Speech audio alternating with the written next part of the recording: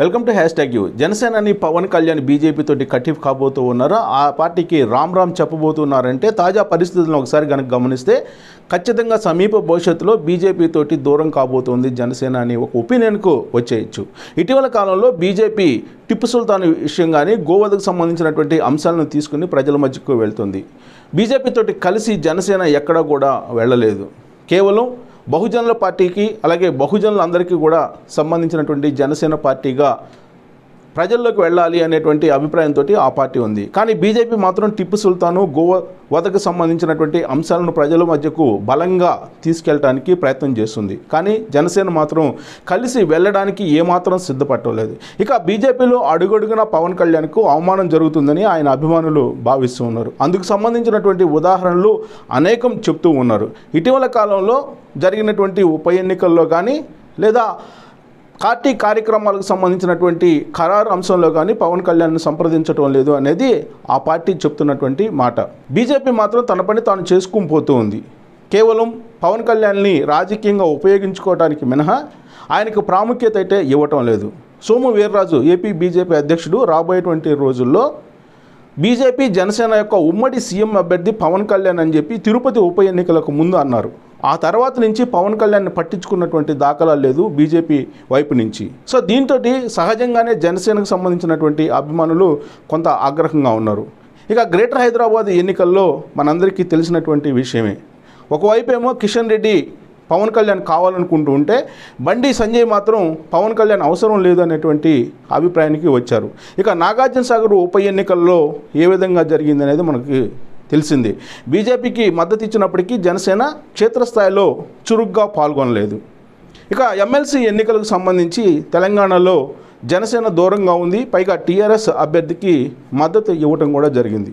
ఏపీకి సంబంధించి తిరుపతి ఉప ఎన్నికలు జరిగినప్పుడు తిరుపతి ఉప ఎన్నికల్లో వాస్తవంగా జనసేన నుంచి అభ్యర్థిని ఖరారు చేయాలని చెప్పి పవన్ కళ్యాణ్ ఆశించారు. కానీ పవన్ కళ్యాణ్ తోటి సంప్రదించకుండానే బీజేపీ తమ పార్టీ వైపు నుంచి అభ్యర్థిని రత్నప్రభుని అనౌన్స్ చేయడం జరిగింది.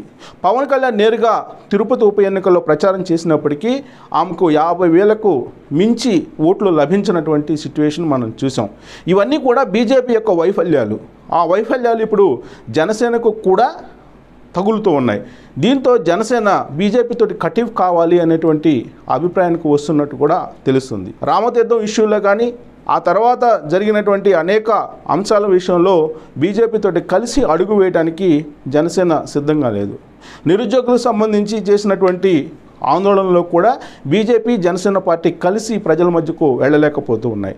రెండు వేల ఇరవై నాలుగుని టార్గెట్గా చేసుకుని జనసేన బీజేపీ కలిసి వెళ్ళాలని చెప్పి పొత్తు పెట్టుకున్నాయి రాజకీయంగా.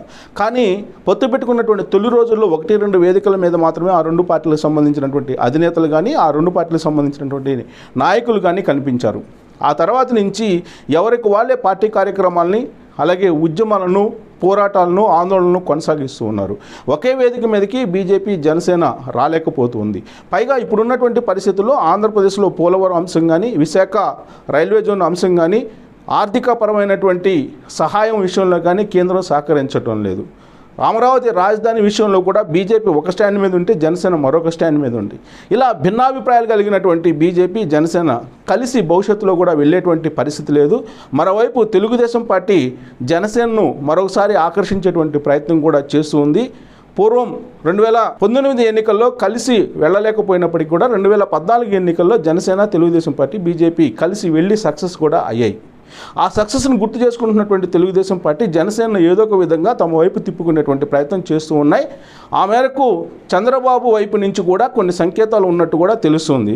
దాంతో పవన్ కళ్యాణ్ ఇప్పుడు పునరాలోచనలో పడ్డారు. బీజేపీని వదిలిపెట్టైనా సరే తెలుగుదేశం పార్టీతో కలిసి నెక్స్ట్ ఎలక్షన్స్కి రెండు వేల ఇరవై నాలుగు ఎన్నికలకు వెళ్ళాలి అనేటువంటి ఆలోచన చేస్తున్నట్టు కూడా జనసేన వర్గాల్లో చర్చ జరుగుతుంది.